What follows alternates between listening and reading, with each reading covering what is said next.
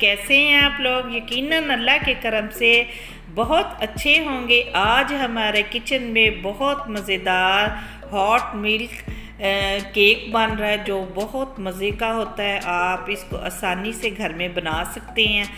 और आ, इसको अगर आपने अच्छे तरीके से बनाना है तो आप मेरे सारे टिप्स को फॉलो करें और वीडियो को एंड तक देखें। अगर आपको ये मेरी रेसिपी अच्छी लगे इसको लाइक करें शेयर करें और मेरे चैनल को सब्सक्राइब करें। आइए इसमें देख लेते हैं कि हम इसमें कौन सी चीज़ें इस्तेमाल करेंगे। ये हम इसमें चीज़ें इस्तेमाल करेंगे। सबसे पहले हमने एक कप मैदा लिया है। दो टीस्पून हमने इसमें बटर लिया है। वन कप हमने शुगर ली है पिसी हुई।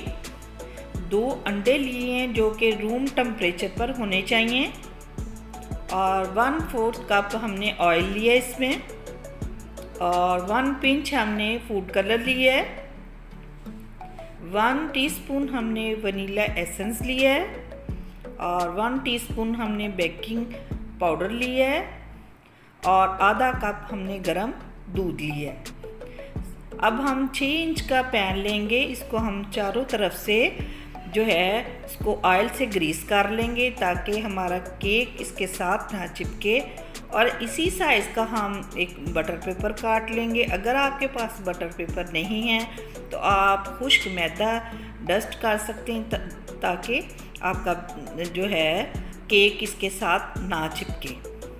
बटर पेपर को इसके अंदर बिछा देते हैं। बटर पेपर लग चुका है। पैन हमारा तैयार हो गया है। अब हम अपनी कढ़ाई को प्री हीट कर लेते हैं 10 मिनट के लिए। अब इसमें हम स्टैंड रखते हैं। अगर आपके पास स्टैंड नहीं है तो आप कोई छोटी कटोरी रख सकते हैं। ये कोशिश करें कि कढ़ाई का पैंदा जो हो, वो ज़रा भारी हो। 10 मिनट के लिए हम इसको करेंगे प्री हीट अब हम बॉल लेते हैं, इसमें हम दो अंडे ऐड करते हैं। अंडों को हमने बीटर से दो मिनट तक जो है बीट करना है, हाई स्पीड पर। अंडे तकरीबन फ्लफ़ी हो रहे हैं।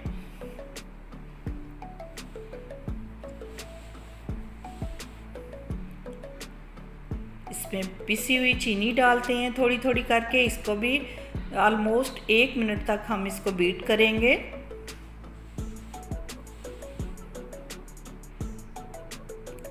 चीनी भी इसमें अच्छे तरीके से बीट हो चुकी है।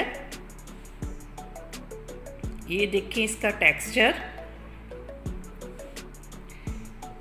अब इसमें वनीला एसेंस शामिल करते हैं।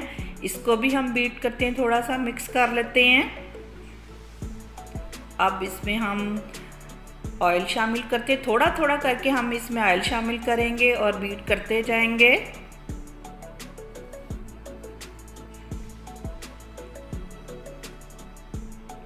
ऑयल भी मिक्स हो गया। इसमें फ़ूड कलर वन पिंच शामिल करते हैं।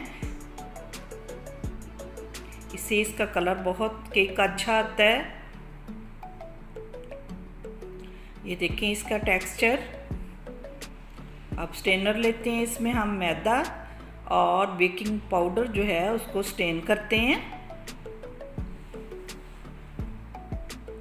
बेकिंग पाउडर भी डाल लेते हैं। दोनों चीज़ों को स्टेन करते हैं।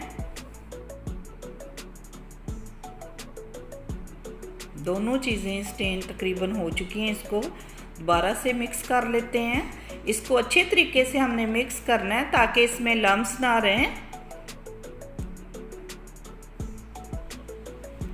अच्छे तरीके से हमने इसको बीट कर लिया है।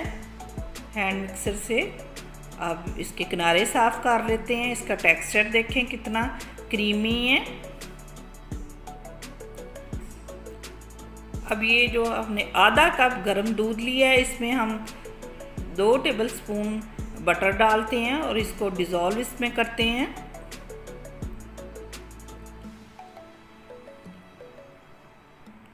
बटर इसमें मिक्स हो गया है तो इसको अब हम बैटर में डालेंगे थोड़ा थोड़ा करके।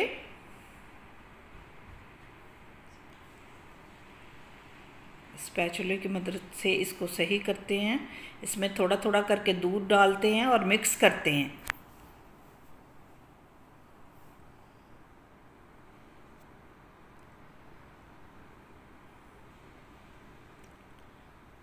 थोड़ा थोड़ा करके हमने दूध डाला है और मिक्स हो गया ये देखें, इसका टेक्सचर अब ये हमारा मिक्सचर जो है, वो तैयार है केक के लिए। पैन में इसको शिफ्ट करते हैं।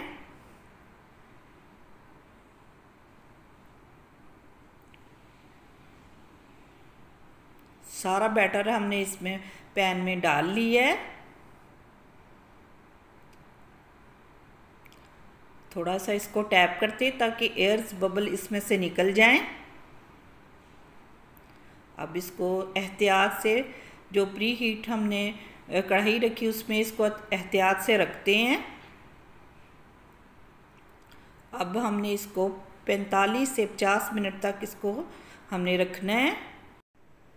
लो टू मीडियम फ्लेम पर हमने इसको 45 मिनट तक बेक करना। अगर आपने इसको ओवन में बनाना है तो आपने 170 डिग्री सी पर 25 मिनट के लिए बेक करना अब हमारा केक जो है, वो तैयार है, माशाल्लाह। देखिए इसका कलर कितना खूबसूरत है। इसको चेक करते हैं स्टिक से। देखिए स्टिक बिल्कुल क्लियर है, माशाल्लाह। हमारा केक जो है, वो डन हो चुका है। अब हम इसको ठंडा करते हैं और जब ये मुकम्मल तौर पर ठंडा हो जाए, फिर इसको डीमोल्ड करेंगे। नाइफ़ की मदद से इसके किनारे जो है, वो हम कर लेते हैं। ये देखें, माशाल्लाह, हमने डी मोल्ड कर लिया हमारा केक डन है। इसका बटर पेपर उतार लेते हैं। माशाल्लाह माशाल्लाह, कितना अच्छा हमारा केक जो है बना आप इसको ज़रूर बनाएँ। आपको बहुत पसंद आएगा। इसको कट करके आपको दिखाते हैं।